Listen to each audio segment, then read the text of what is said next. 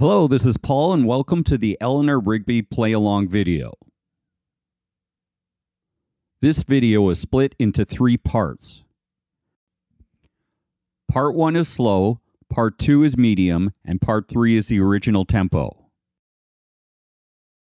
Keep moving forward on these versions until you feel comfortable playing the original tempo. Part 1 at a slow tempo.